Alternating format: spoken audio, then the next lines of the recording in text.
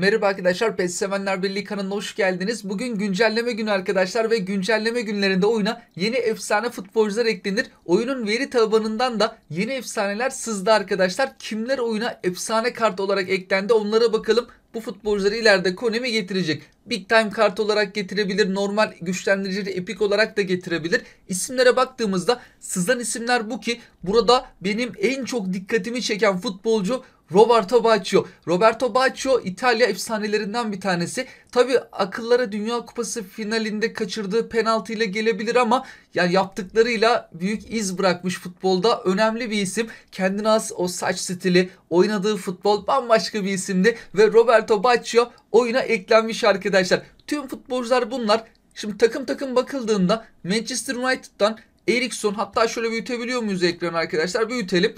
Eriksson, Casemiro, Martial, Bissaka. Şu an oynayan futbolcularla alakalı da yeni epikler var. Nasıl Barcelona'nın Bayern Münih'in epik paketleri gelmişti arkadaşlar. Geçen hafta Alfonso Davies, Kimmich gibi isimler gelmişti. İlerleyen dönemlerde bu takımların da epik paketleri gelecek. Manchester United hatta bunlar geldiğinde e-futbol mağazasına da oyuncu ekliyordu Konami. Barcelona'dan bir tane isim eklenmişti. E şu an Bayern Münih'ten Goretzka eklendi. Demek ki bunlar da geldiğinde mağazaya da birer tane futbolcularını ekleyecektir. Manchester United'dan Eriksson, Casemiro, Martial, Bissaka. Hatta Martial'ın Manchester United'dan ayrılma gibi haberleri de geçiyor ama Big Time Milan, Giroud, Calabria, Rafael Tomori.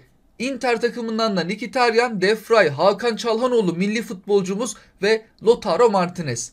Şimdi tüm hepsine baktığımızda Kawaguchi, Stojkovic, Ambrosini zaten birçoğu oyunda var arkadaşlar. Yeni kartlarını artık getirecek. Merta Seker. Neymar'ın yepyeni bir kartı. Hangi kartı acaba? Barcelona mı, Santos mu, Paris Saint Germain yapmaz ama bir Barcelona kartıdır. Ya da belki milli takım kartı da olabilir. Scholes, Gerrard, Cordoba, Roberto Carlos, Cafu, Romario, Baggio, Rijkaard, Denilson, Belletti, Makalele, Buraya geçtiğimizde Cannavaro, Ciro, Mkhitaryan, Eriksen, Defray, Casemiro, Martial, Hakan Çalhanoğlu, Calabria, Calabria, Lautaro Martinez, Tomori, Fambisakka ve Rafael Lau.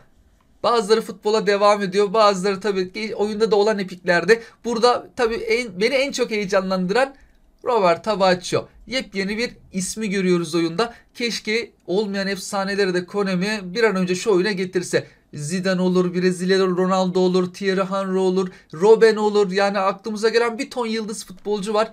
Ama ne yazık ki Konami bu konuda biraz ağır davranıyor. Oyunla alakalı da bazı gelişmelere geçecek olursak şu an saatlerimiz çok erken arkadaşlar. Oyunun logosu değişti. Karnaval temalı bir logo var Brezilya'daki karnavalla alakalı.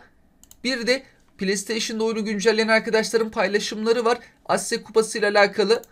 Mesela maçlar oynandığında bu görseller geliştirilmiş. Oyun içerisinden bazı görüntüler. Taraftarların elinde Asya Kupası'nda mücadele eden takımların bayrakları.